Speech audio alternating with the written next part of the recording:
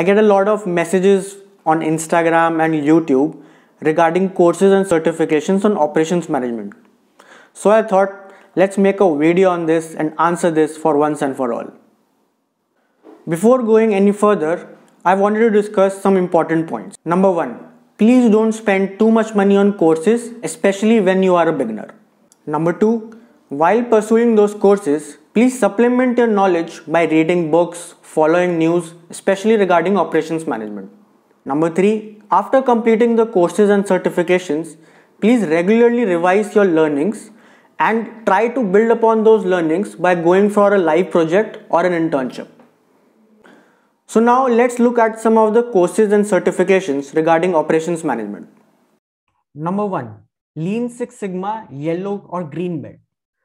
Now through this certification, you will learn concepts related to lean management and Six Sigma basics. It, it will actually give you a structured approach on how to improve any process using DMAIC principles. Now DMAIC principles are defined as define, measure, analyze, improve and control. Now, it is one of the most common certifications amongst operation management professionals. Number two, supply chain management certification.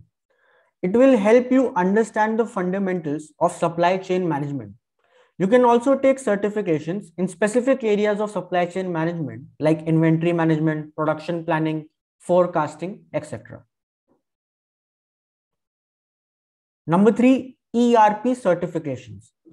So first of all, ERP is an acronym that stands for Enterprise Resource Planning.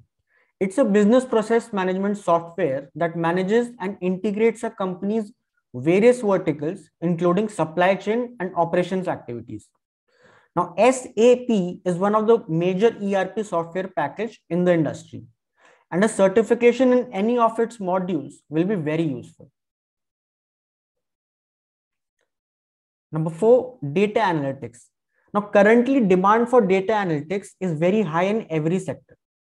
So along with the domain specific courses, which we have discussed, you can go for courses related to data analytics as well. Alternatively, courses like supply chain analytics or operations analytics can give you an edge. So I hope you got some clarity regarding which courses and certifications to go for related operations management. Do check out the links for some of the courses related to operations management in the description below. For more such content, do like, share and subscribe to Operations Masters. Thank you very much.